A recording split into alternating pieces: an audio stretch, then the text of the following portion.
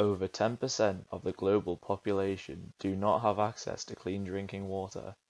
They are forced to risk contracting waterborne diseases such as cholera, typhoid, and dysentery every time they need to drink. It is obvious, then, that a cheap drinkable water source would be extremely useful.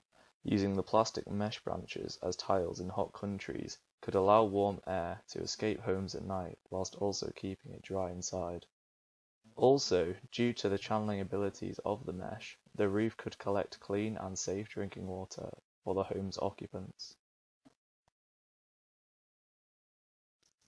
Thuja is a species of evergreen coniferous tree that is native to western North America. During a trip to Canada, it was noticed that the ground underneath these trees remained remarkably dry, even in the heaviest of rain. The phenomenon was due to the water channeling abilities of the branches. The traits of the branch were imitated with a plastic mesh to observe if the properties of the branch could be reproduced. It is believed that the most important feature of the Thuja plicata branches that gives them their extraordinary water channeling abilities is their shape as it allows water to converge at the tip of the leaf. Other important features include microscopic grooves in the leaf wax which also converge at the tip which further encourages water to flow there.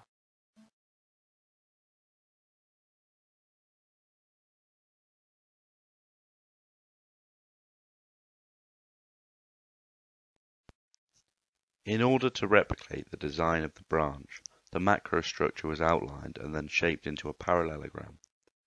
This ensured that water could be channeled to a definitive point on the parallelogram.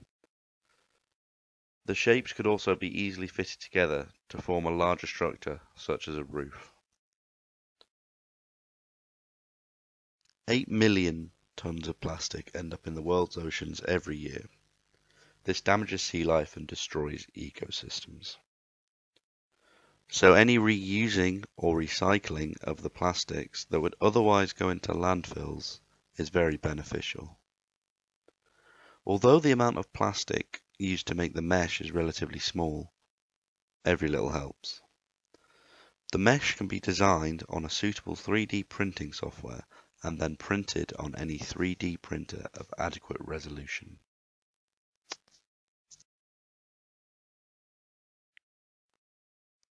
Note from the video how when water is poured onto the mesh, the overwhelming majority of the water is channeled down the mesh and into the beaker. The small amount of water that passes through the mesh can be channeled by a second layer that is placed underneath the first mesh. The holes in the mesh allow air to pass through the layers without water flowing through. Ultimately, a series of mesh layers can be stacked until the overall system provides a 100% recovery rate.